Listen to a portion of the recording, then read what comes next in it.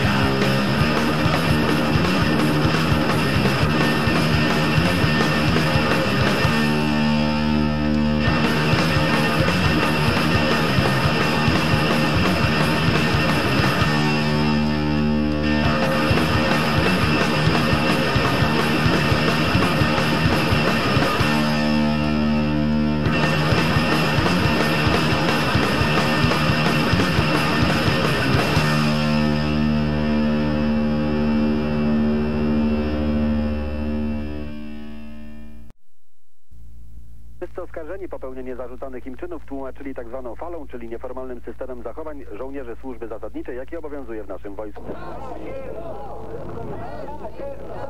11 tysięcy dzieci na świecie umiera każdego dnia z głodu. Około 200 milionów cierpi z powodu niedożywienia. I uzgodnione już dwa dokumenty, które, ma, które mają być przyjęte na szczycie, nie są niczym więcej niż zbiorem pobożnych życzeń.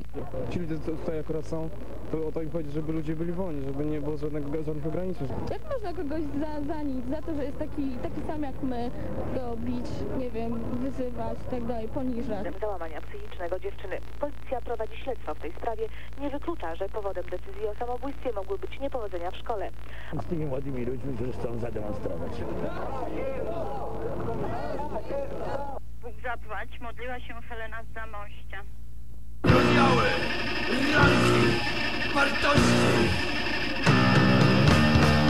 Lud, sądzy, światem.